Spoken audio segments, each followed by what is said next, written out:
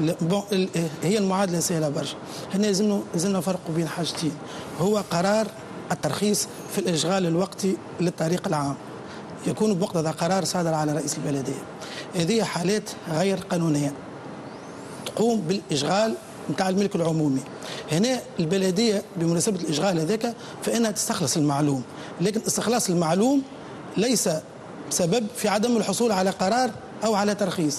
وهو شنو اللي صار؟ اللي صار وهي البلدية علاش تقوم بعملية ترخيص؟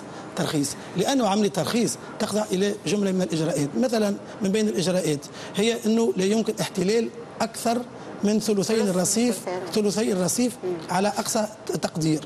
ويق وعدم معناها اللي اللي يغطيها معناها عدم تركيز ستائر وكل شيء يكون ديما ديما معناها قابل للمرور وكل شيء. شو معناها؟ هو نشر نشر مناضد و ومجموعه من من الكراسي وحتى حتى معناها دي دي باراسول وتقعد ديما الحق في المرور. لكن شنو اللي يصير؟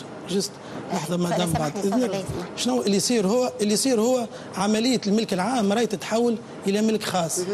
وفما في بعض الأحيان ممكن تقع عملية البيع نتاع الأصول التجارية بما فيها عملية الاستغلال نتاع الملك العام هذاك اللي هو اللي هو ولا معناها ملك ملك خاص.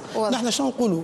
كل مواطن راهو إذا كان يتوجه معناها للبلدية هناك لجان في جميع البلديات هي تختص معناها في الاشغال الوقتي للطريق العمومي وإذا كان فما توفرت الشروط هذه اللي هي معناها عدم معناها احتلال الرصيف الكل وكثافة المرور. وزاد في بعض الحالات راهو فما المستلزمين العموميين كما سونات ولا غيره يقوموا زاد عندهم